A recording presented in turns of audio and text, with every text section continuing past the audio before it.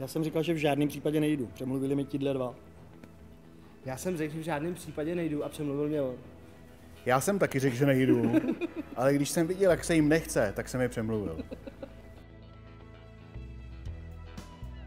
Vůbec. Vůbec, nevím.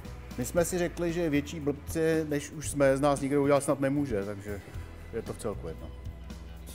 Co? Jo, to já souhlasím s tiskovým mluvčím. Pana Krause? Na co já bych se tak...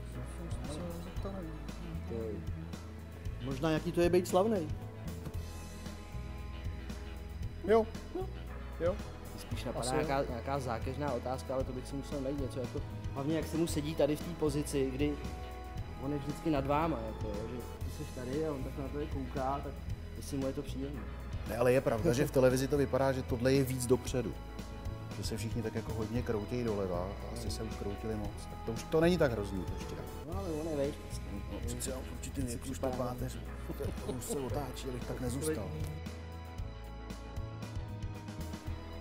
Já jsem trošku nervózní, ale jenom malinko.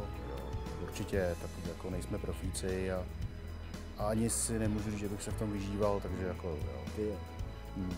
Já ji třeba měl, když jsem sem jel, měl jsem ji už, když jsem si dneska kupoval bílou košili, kterou si sem vezmu. Nemám ji. Uh, ale teďka, jak jsme se tady sedli my tři, tak je to v pohodě. Horší to bude, až tam budou sedět ty lidi a tady prostě tak, jí budu mít a možná uteču. A ještě někdo přijde? Já doufám, že to je všechno, ale asi jo.